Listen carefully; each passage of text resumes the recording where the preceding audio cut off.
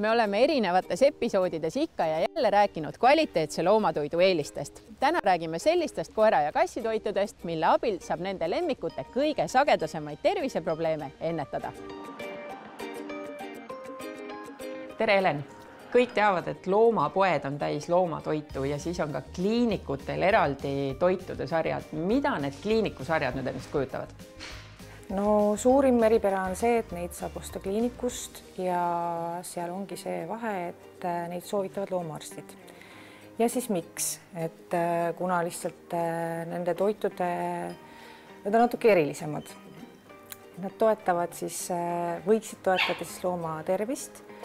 et alustame siis sellest, et kui me võtame kutsika või kassipoja, et siis loomaomanik pöördub vaktsineerima või äh, siis kasvõi lihtsalt tervist kontrollima ja tegelikult äh, üsna tihedalt küsitakse ka siis, et äh, millist toitu, miks, kuidas, kui palju, et neid küsimusi on hästi palju.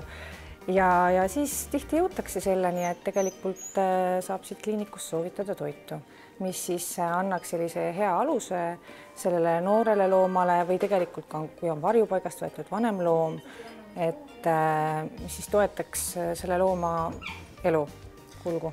täna me räägime konkreetselt Hillsi Vet Essentialsi sarjast. milliste tervisemurede ennetamiseks selle sarja puhul abi leiab?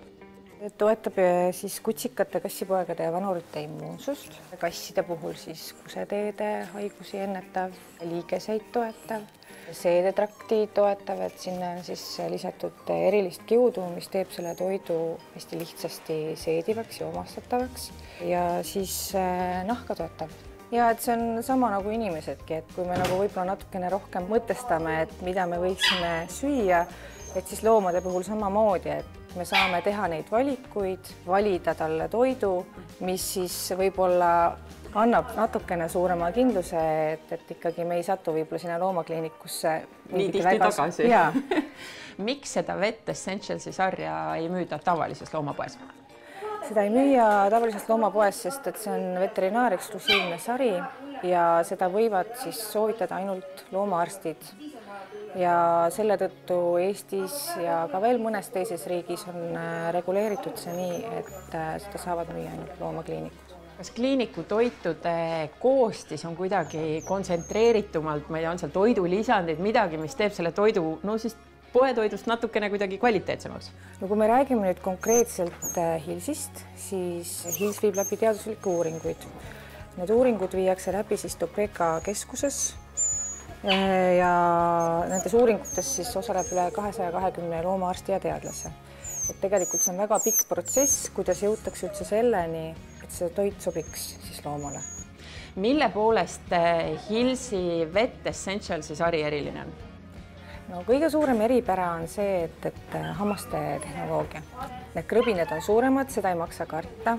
me kõik peaksime rohkem sellele rõhku panema, et eh, loomad võiksid siis närida rohkem. rääkides nüüd konkreetselt nendest krõbinatest, mis koera hammastele hästi mõjuvad, siis koerad on ju tegelikult erinevas suuruses, kas siis igas suuruses koerale on eraldi suurusega krõbin?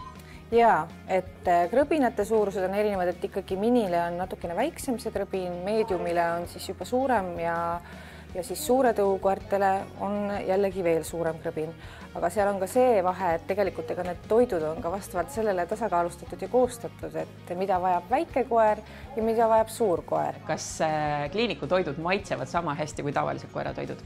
No mina võin küll omast käest öelda, et maitsevad väga-väga hästi, et äh, meie perekoerad söövad kõik hilsi ja tegelikult oleme ka saanud päris palju head tagasisidet ja just oleme saanud ka tagasisidet kasside poole pealt, et väga hea söödavus on. et see on nagu põhiline, et, et loomaomanikuna sa saaksid oma loomadele anda toitu, milles sa oled kindel ja, ja mis konkreetselt neile ka tegelikult sobib